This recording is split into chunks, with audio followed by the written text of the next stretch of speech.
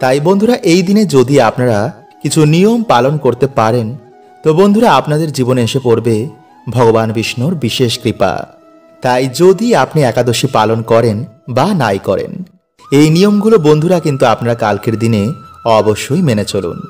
এবং কালকের দিনে আপনারা কি করবেন এবং কি করবেন না, সকালে ঘুম থেকে উঠিয়ে আপনারা ভগবানের কি মন্ত্র স্মরণ করবেন, কোন জিনিসগুলো আপনারা সকালে ভুলেও করবেন না কি খাবার খাবেন না এবং মনোবাসনা পূর্ণের জন্য আপনারা কালকে তুলসী গাছের গোড়ায় কি বাঁধবেন? এই সকল তথ্য বন্ধুরা আমরা আজকের এই ভিডিওতে জানব। তাই চ্যানেলে বন্ধুরা নতুন হলে চ্যানেলটি সাবস্ক্রাইব করে পাশের বেল আইকনটিকে অল করে রাখবেন এবং কমেন্টে আপনারা একবার বলুন, জয় শ্রীকৃষ্ণ এবং হর হর মহাদেব। এই দিনেই বন্ধুরা সামান্য কিছু কাজ মানুষের দুঃখ দরিদ্রতার নাশ করে দেয়। আবার বন্ধুরা, এই দিনে কিছু ভুল আমাদের জীবনে ডেকে আনে চরম দুর্গতি। আমাদের সৌভাগ্যে নাশ হয়। পরিবার লক্ষ্মী স্ত্রী হয়ে যায়। ফলে পরিবারে নেমে আসে বন্ধুরা ঘোর অন্ধকার। তাই বন্ধুরা, কালকে সকালে ঘুম থেকে উঠে আপনারা সবার প্রথমে ভগবান বিষ্ণুকে স্মরণ করবেন। মাটিতে পা দেওয়ার আগেই আপনারা ভগবান বিষ্ণুর এই মন্ত্রটি জপ করবেন।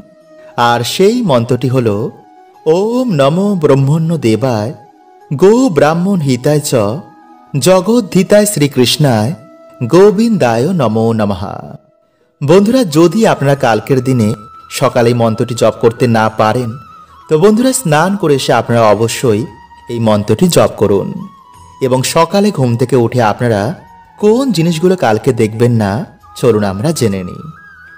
বন্ধুরা, সকালে ঘুম থেকে উঠেই আপনারা কোনো কিছু দর্শনের আগে ভগবানের দর্শন করুন। ঘুম থেকে উঠেই আপনারা ফাঁকা কলসি দেখবেন না, ঝগড়া, ঝামেলা বা অশ্লীল কিছু দেখবেন না। এই দিন আপনারা যতটা পারবেন এই সব থেকে দূরে থাকুন।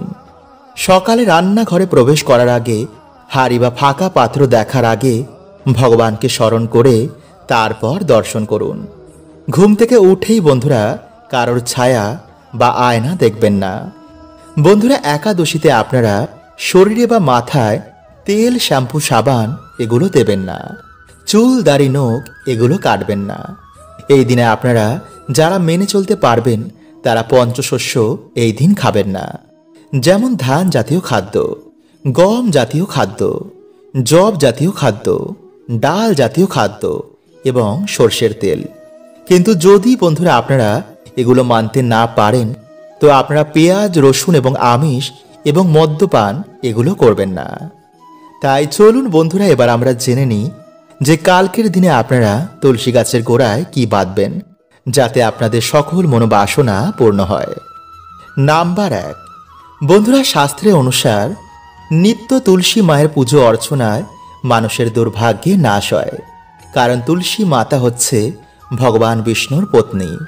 তাই আপনারা কালকের দিনে একটি লাল ওড়না যা দেবী মাকে অর্পণ করা হয়, তা এনে আপনাদের মনোবাসনা বলে তা তুলসী গাছে জড়িয়ে দিন।